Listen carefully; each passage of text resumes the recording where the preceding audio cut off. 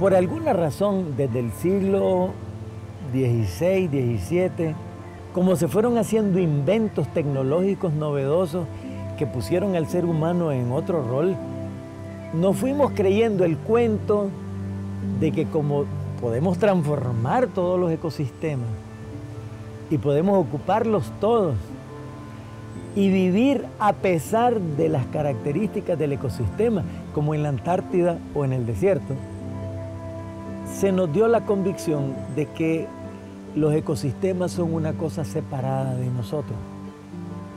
Esa biodiversidad es esencial para nosotros. Los árboles son extraordinarios.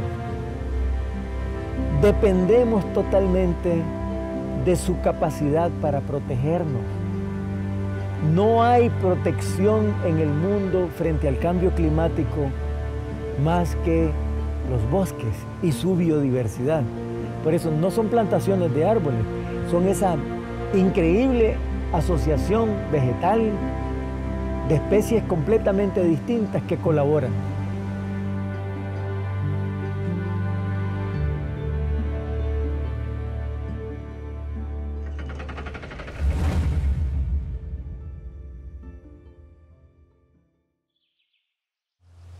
Yo creo que Calibre ayudó a cambiar todo el panorama de pobreza extrema que había en la zona, sobre todo con las comunidades que se han ido estableciendo.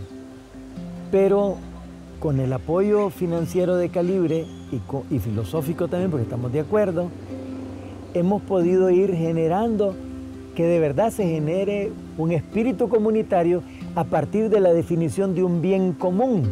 Y el primer bien común que se define es el agua. El segundo bien común es la salud de la familia. Calibre Mining is a Canadian-based multi-asset gold producer and our current operations are found uh, here in Nicaragua and in the United States. To my mind, what sets Calibre apart from other companies is that we are not afraid of true continuous consultation with our host communities and transparent dialogue with all our stakeholders. That trust-based dialogue has enabled us to start initiatives that in the past were considered impossible. A good example of that is uh, our alliance with SEN, in the past, SEN as an NGO and the mining companies were clear opponents.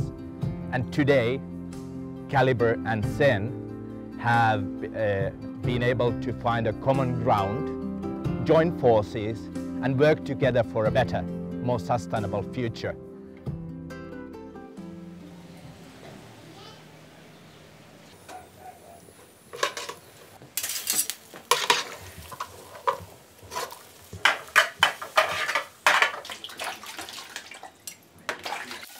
Bueno, el nuevo fogón ya no es como el de antes, que echaba bastante humo, ahora ya no. Ahora este, ya la leña se le pone y sale por la chimenea, ya no se riega por toda la casa, ya no los contamina la salud de uno, principalmente los pulmones, la vista, que a uno le hace daño eso. Es excelente. A todas las comunidades le han cambiado, están muy contentos con el juego que se le ha hecho y así espero que todas las que estamos organizadas se les dé ese proyecto para que los tengamos todos. Fue un beneficio para la comunidad.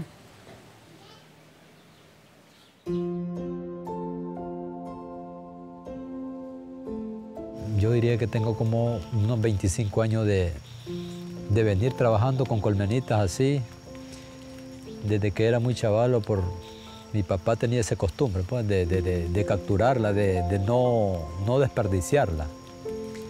Pero directamente no sabíamos nosotros el beneficio que, lo que aportaban las abejas. Calibre por medio del, del CEN, lo fueron enseñando todas las, las propiedades de, las utilidades de las abejas. Si no hay abejas, no hay bosque. Si no hay bosque, no hay agua.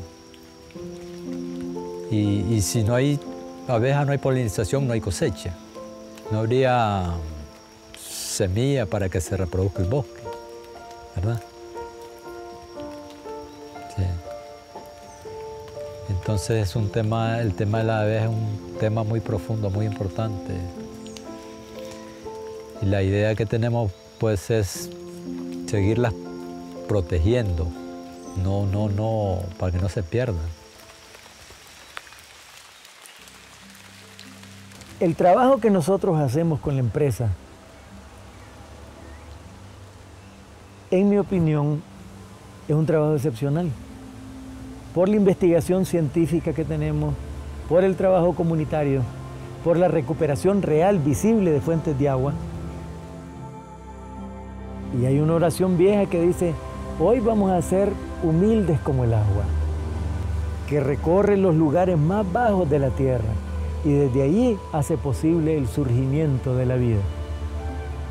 Entonces, cuando yo trabajo con pueblos indígenas, yo parto de su cosmovisión, de, de lo que hay en ella que nos hace amar la vida, cuidar la vida, proteger la vida, como algo a lo que podemos dedicar nuestra existencia.